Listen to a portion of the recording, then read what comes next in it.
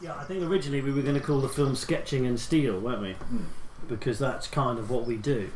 Um, I think it was it was a kind of an exercise in design, really, wasn't it? That It was, was. the sort of main starting point. Partly that we wanted to kind of combine two bits of the film, so the process of making the tooling, the process of making the product, and then actually going to go and visit Sean up at Broadoak um, to kind of go and give it purpose. So I think quite a lot of the stuff I've been writing about on Instagram recently is that um, you know all the stuff we make, it's just bits of metal until it's given a purpose. I think that's part of what we're trying to do in the films is to, to show the process of making, but also what happens to it after something's been made.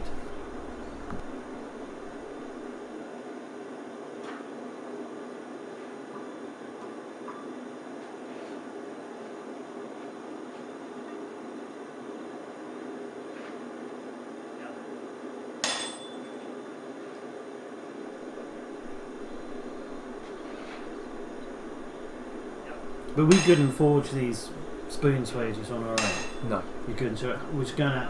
It would have had to have taken two of us. I mean, in this instance, we sort of rotated a little bit. Uh, and I think I was striking for your spoon swage and you were striking for mine, so you'd have a little bit of a break in between. It's quite hard work.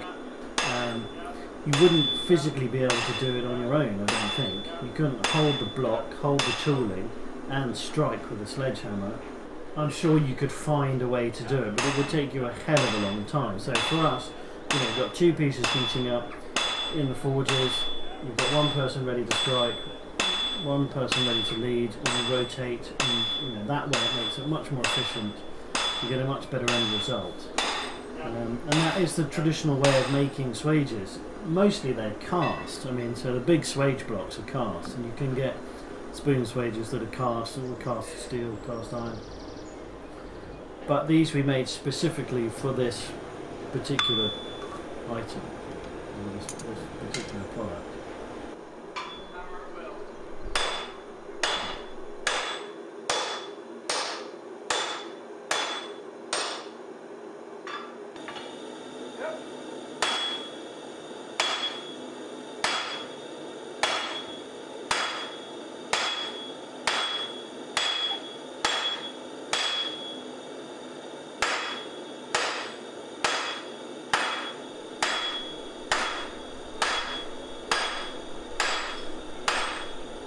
Smith and Striker is is the old-fashioned power hammer. It was a job in and of itself in the days before you had big machinery.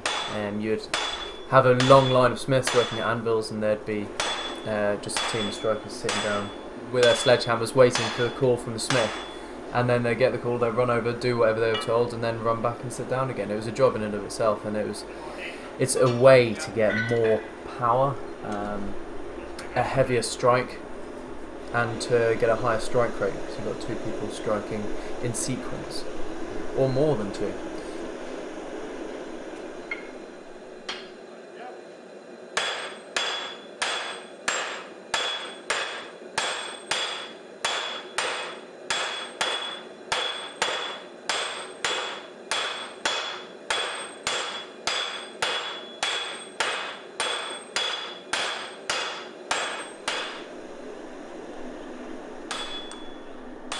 This is the first time that we've made a film that we we haven't made the product before. So this was, in a sense, it's a new film, but it's also it's a new product, and part of the film is showing that creative process from start to finish.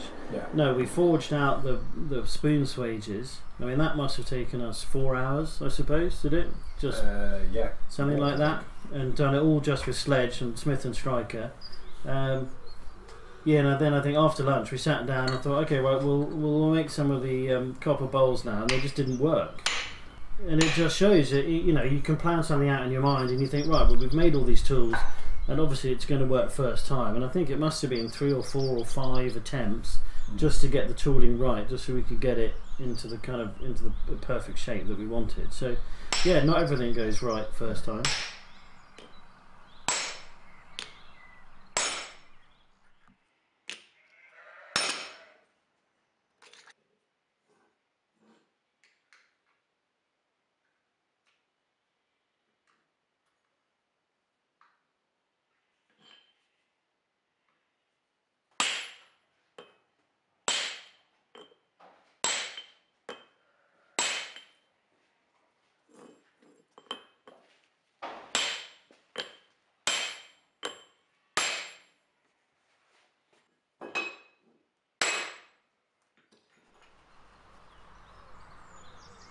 I mean, a lot of the process that Joe and I go through of making a new product is a basic concept.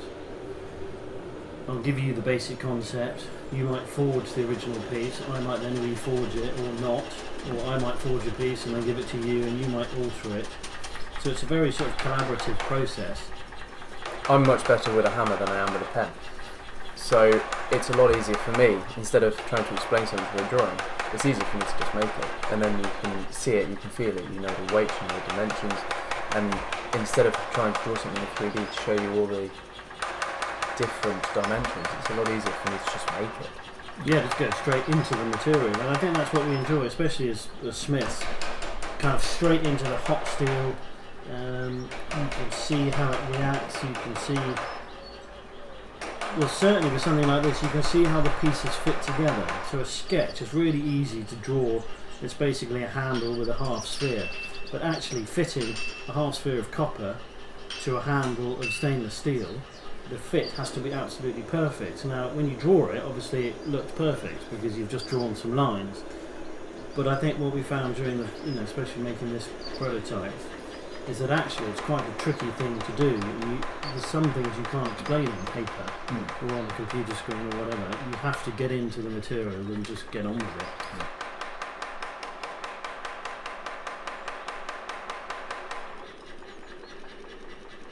And also, you've changed the way that we produce things because of making this. You changed from using round stock for making handles to square stock because we didn't like the profile of the handle. So you thought, well, we'll use a different stock. You then worked out that actually you can produce a handle quicker and nicer using a different type of stock. But that has kind of ripples and repercussions for the rest of production. So now we're changing the way we're making the pan handles. Yeah. So we're using a different type of stock, which means we can make them more efficiently. Um, so, you know, we're constantly sort of, in a way, bouncing off our own creativity or our own way of looking for more efficient ways of making things, but without losing the essence of the product.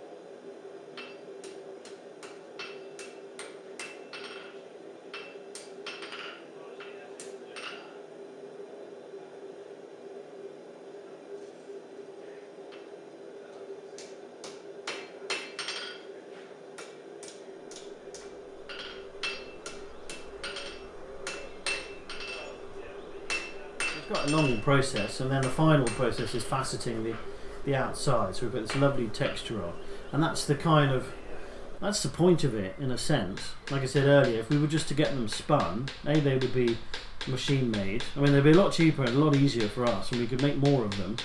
But you can't replicate this texture in any way, and each piece will be completely different. They'll look basically the same, but each one will have its own character. Each one will have its own marks. Um, the inside of the bowls have this beautiful texture that you can't you can't replicate any other way than by actually making it the way that we make it.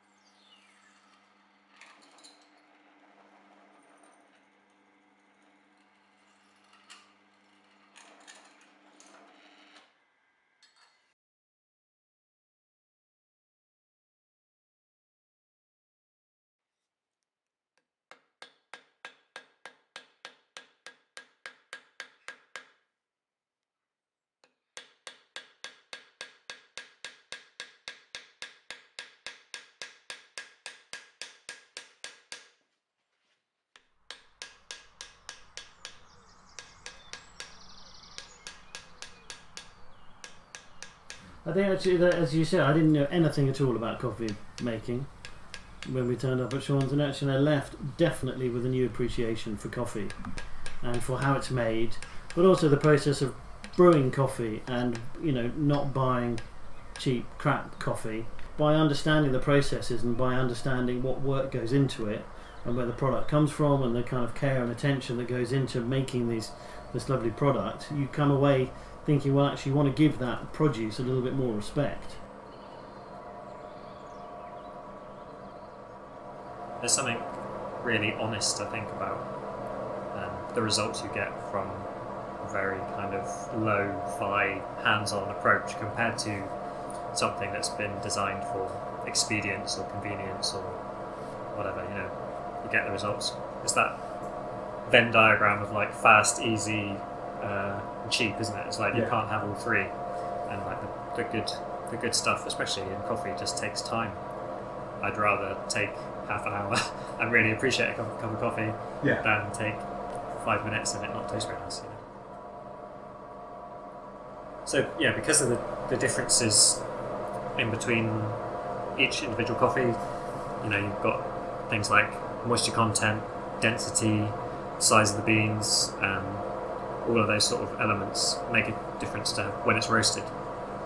So each coffee has its own individual roast profile, which um, tells you um, like a starting temperature. So that the temperature that the, the coffee drum is when you drop the, the room temperature green coffee into the drum, the drum then cools quite considerably with that um, that temperature change.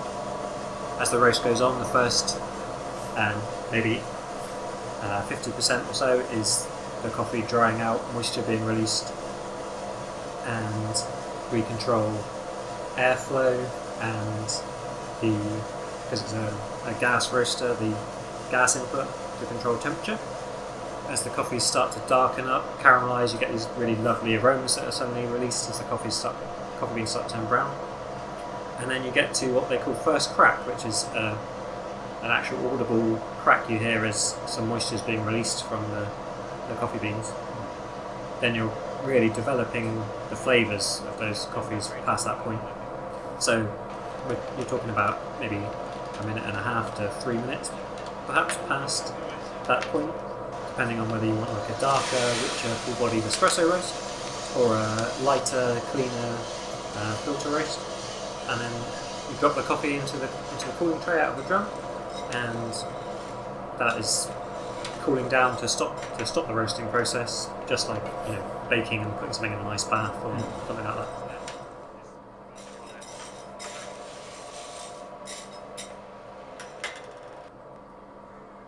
I mean, yeah, your favourite coffee shop might stock the coffee that they use, and they might have, you know, other coffees potentially that um, they think you might like, or you know, might be a guest option or a filter option or whatever. But chances are, you know, the barista will be able to tell you, you know, recommend places, things you might like.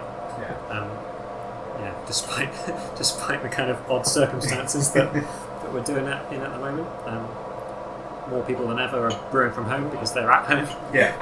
Um, so yeah, if we can supply them with great coffee that we we think is great, then yeah, that, that's the more the better, isn't it? Like.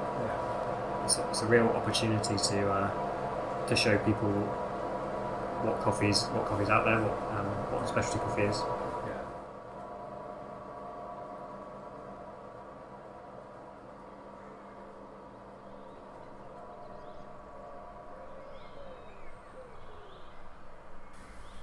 When we make a good product, we want to. It goes back to what you were saying about you know a, a thing is only a only becomes a thing when it's used, and if we're going to do that, we might as well use the best products that we can find locally. Yeah. Yeah, and I think that's kind of wh- where the whole business is moving and what we're excited about. A, we're excited about making new products, new processes. You know, copper's not a new material for us, but we are starting to use it in a slightly newer way. Um, but we're also excited about meeting new producers, you know, getting into different parts of the whole food world. So whether it's food and drink and, you know, different aspects of it, and more Yeah. and more specialist. Um, I mean, I, for me, I think the, the design process and you know what we did in that process of having a concept going all the way through the tooling to the end product and then going to see Sean with the coffee. That's what you know. The hair, look, you can see the hairs to stand up on my arm. That's what excites me about the business. That's what I want to do. People do often ask, you know, what's your motivation? What do you like doing? Why do you do this? Um, and that is the the reasons because we get excited about what we're making and we get excited about being able to go and use them